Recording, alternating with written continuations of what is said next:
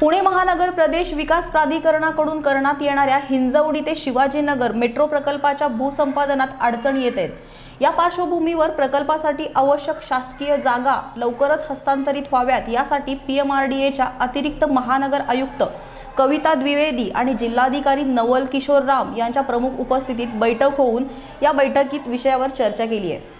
Metro प्रकल्पाचे प्रत्यक्ष काम नव्या वर्षात सुरू होणार आहे. माती परीक्षण वाहतूक अभ्यास आणि इ- आणि इतर तांत्रिक बाबींमुळे या प्रकल्पाच्या कामाला विलंब होत आहे. याशिवाय मेट्रो प्रकल्पासाठी आवश्यक असणारी जमीन पीएमआरडीएकडे तुकड्या तुकड्यात आली आहे. त्यामुळे प्रकल्पाचे काम सुरू करण्यात अडचणी येत आहेत.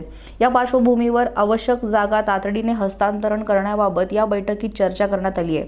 जिल्हाधिकारी राम यांनी याबाबत आवश्यक कार्यवाही लवकरच करण्याचे आश्वासन P M R D A प्रशासनाला दिलं आहे या मेट्रो प्रकल्पासाठी आवश्यक भूसंपादनाचे काम बालेवाडीतून सुरू होईल.